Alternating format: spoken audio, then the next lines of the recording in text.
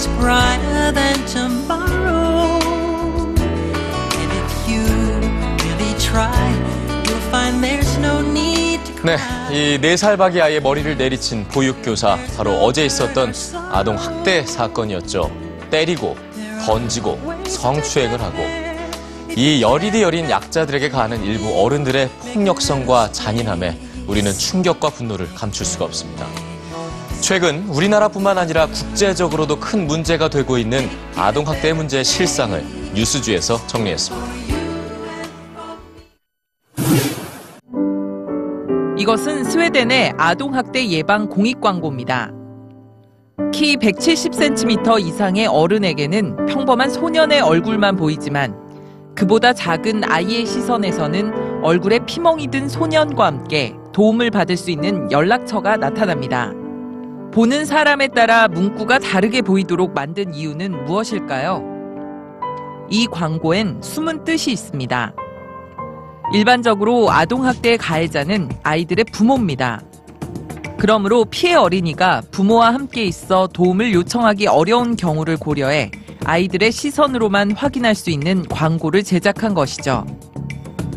그렇지만 아직 의사 표현이 어려운 영유아의 경우 아동학대에 무방비로 노출될 수밖에 없습니다.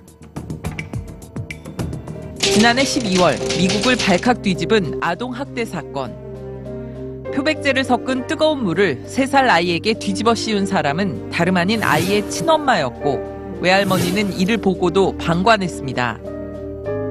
1970년대 심리학자들은 신데렐라 이펙트라는 단어를 만들며 의부 부모가 아이를 자신의 친자녀만큼 사랑하기 어렵다는 연구 결과를 발표했지만 최근에는 실제 아동학대를 한 부모 가운데 88.5%가 친부모라는 조사 결과가 보고되고 있습니다. 또 미국에서는 지난 6년 동안 786명의 어린이들이 학대받고 사망했다는 조사 결과가 나왔으며 아동 3명 중 1명은 자신이 보호받지 못한다고 생각하는 것으로 나타났습니다. 한편 부모가 아닌 타인이 아동 학대를 하는 경우도 16.5%에 달합니다. 이들은 대부분 아이들과 밀접한 관계를 맺고 있는 사람들인데요.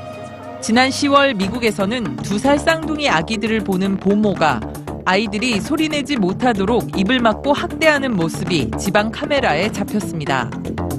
이 여성은 보모 경험이 많고 평소 매우 상냥했기 때문에 부모는 학대를 의심하지 못했습니다. 경찰 조사 결과 이 아이들은 보모가 집에 있으면 두려워했고 이미 정신적인 외상을 입은 것으로 알려졌는데요. 이처럼 아동학대 후유증은 예상보다 훨씬 심각할 수 있습니다. 정신적인 외상은 우울, 스트레스, 불안, 무기력으로 이어지기 쉬우며 학대당한 아동들은 이후에도 골절과 같은 신체적인 부상을 자주 입을 수 있고 장기적으로 봤을 때 암에 걸릴 위험이 더 높아지는 것으로 나타났습니다. 또 아동학대를 경험한 사람은 청소년기와 성인기에 폭력 범죄를 저지른 비율이 일반인보다 30% 이상 높았습니다.